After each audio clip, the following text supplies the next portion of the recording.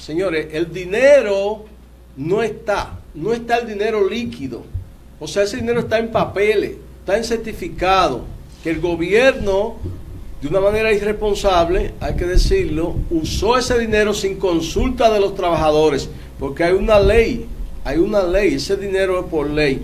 Ahora bien, modificar esa ley con tantos intereses que hay envueltos en las, en las AFP, con todos los intereses que se mueven alrededor del Congreso, intereses eh, económicos y políticos, no es posible pasar eso. Entonces, lo que sí es posible es que el gobierno, como garante de esos fondos, a través del Banco Central, del Banco Central, avale una nota de crédito y se deposite en el Banco de Reserva eh, a toda la gente. No importa si hay que abrir cuatro millones.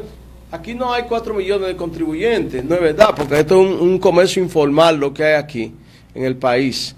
Pero la gente que tiene dinero en las AFP, que le den a cada uno el 30% con un crédito que puede retirar avalado por el Banco Central y que puedan retirarlo del Banco de Reserva con una cuenta para cada uno y, y como garantía de los fondos de pensiones, sin intereses y sin mora.